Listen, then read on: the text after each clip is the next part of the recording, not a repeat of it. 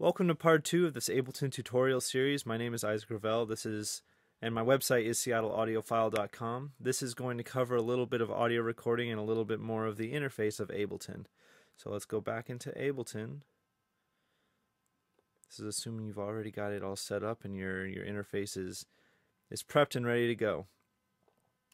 So the first thing that I'm going to want to do, since I'm only dealing with recording, again I'm in the arrangement view, I'm going to go down to the MIDI channel, right click and delete because I'm not going to be dealing with MIDI in this tutorial. I just want to focus on on audio. So uh, I'm going to go here to my channel and again I only have one microphone plugged into channel 3 so go down, select the channel that I want to record, hit the arm button, arm solo mute volume panning. And now that it's uh, now that channel three is getting some signal out of it, you can hear some latency because it's coming out of the uh, the uh, the laptop speakers. Uh, and I've got some signal over here in my view. That means that this channel is all ready to go. I can begin recording.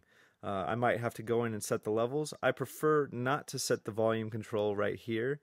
I prefer hit tab to use the mixer view. If it's too loud, can turn it down turn the signal down. The view is not going to change, but uh, the signal coming out is is.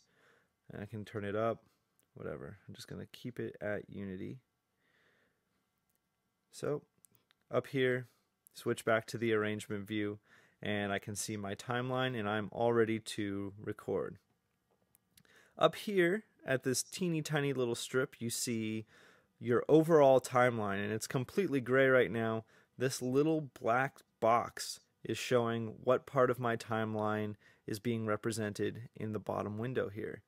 And you can see my timeline has moved to a point that's not actually at the beginning here. If I want, I can just click it and drag it over. Oh, maybe I'm not clicking it right. Click, drag over, and I'm at the beginning. Um, you're probably also going to want to be zoomed out. You can use this for zooming on the uh, right or left side, brackets will show up, and if you click and drag, the timeline will kind of scrunch itself as I'm zooming out. Uh, let's actually zoom out even a little bit more. Okay, so now I'm at the playhead and I've gotten pretty close to overall view of my timeline. And I'm going to want to start recording. First thing you got to do is you have to arm for recording up here in your timeline controls. This is uh, the arm button, stop, play, obviously, and this is to follow along, and I'll get into that one in a moment. So, again, check. We've got channel 1 armed, got some signal coming through. I'm on the right channel that I want to be recording with. So I'm all ready to go. I'm going to hit play, and the playhead has started moving, and because I'm armed up here, we've got some signal that's being recorded in waveform format up here. You can actually see the waveform that I'm recording. And if I sing like for real, la la la la la la la, you can see it showing up a little bit more. Um, but I'm going to go ahead and stop it. And now we can play it back.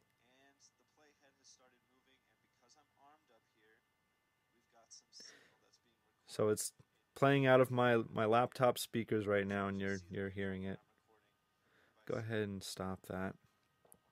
Now let's say I'm, so that's the basics of recording audio. You just got to make sure it's armed and pretty easy. If you want to do an overdub, it's uh, it's very simple. Just go ahead and uh, hit play, and like it'll start it'll start playing on on the thing that you had just previously recorded. When I want to start punching in my my uh, my edit, I just hit the arm button and it'll without stopping the play it's just going to keep recording.